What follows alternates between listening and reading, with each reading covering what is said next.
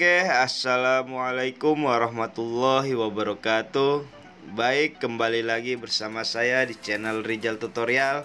Kali ini saya akan men-share bagaimana cara membeli koin King Speed ya melalui Trust Wallet. Oke, sebelum melanjutkan tutorialnya silahkan klik subscribe jika video ini bermanfaat untuk kalian ya. Dan disclaimer on tidak ada ajakan untuk membeli, silahkan research kembali tentang koin ini ya. Oke, langsung saja ke tutorialnya. Di sini kalian harus mempunyai aplikasi yang bernama Trust Wallet dan exchange seperti Binance atau toko kripto. Nah, itu pilih salah satu ya, terserah. Jika ada yang belum punya aplikasinya, silakan klik link yang ada di deskripsi ya. Di situ saya sudah menyertakan bagaimana cara pendaftarannya ya. Oke, di sini kalian buka Trust Wallet ya. Nah, di Trust Wallet ini kalian harus mempunyai saldo yang bernama BNB Smart Chain ya. Nah, bagaimana cara mengisinya? Bisa melalui eceran, bisa juga melalui exchange seperti Binance atau toko kripto itu pilih salah satu ya terserah. Nah, di sini uh, saya akan men-share bagaimana cara mengisi dari Binance atau toko kripto ya. Kalian tinggal copy saja nih alamat addressnya. Kemudian masuk ke Binance ya. Nah, di Binance ini kalian harus mempunyai saldo yang bernama BNB ya. Nah, sebentar saya masuk dulu ya. Oke, setelah masuk ke Binance atau toko kripto, di sini kalian harus mempunyai saldo atau koin BNB ya. Kalian tinggal klik ya. Setelah itu lakukan penarikan.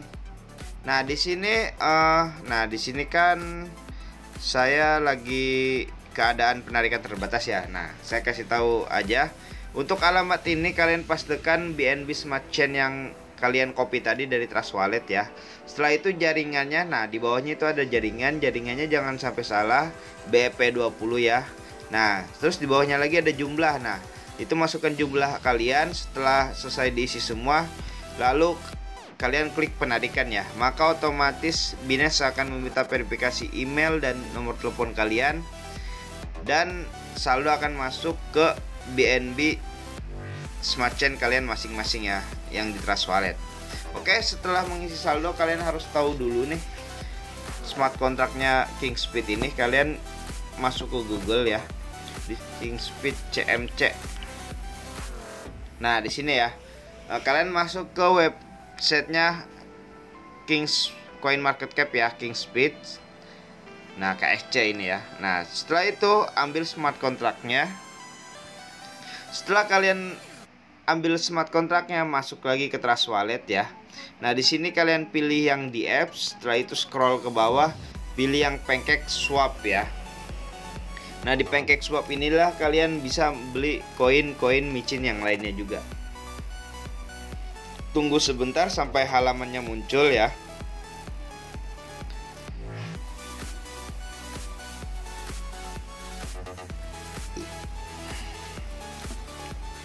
Nah setelah seperti ini tampilannya kalian klik yang cake ini ya.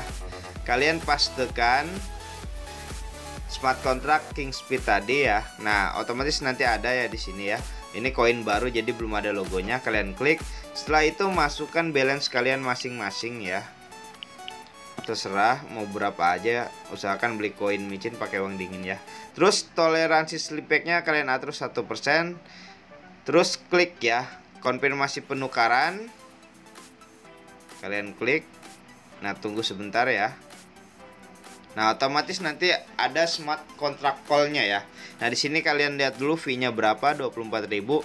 Jika saldo kalian cukup, maka di sini akan ada bacaan approve. Kalian tinggal klik approve saja, maka otomatis koin akan terbeli ya. Nah, bagaimana cara memunculkan koin yang sudah dibeli agar tampil di halaman depan? Oke, kalian klik pojok kanan atas. Coba tulis King Speed ya. King Speed.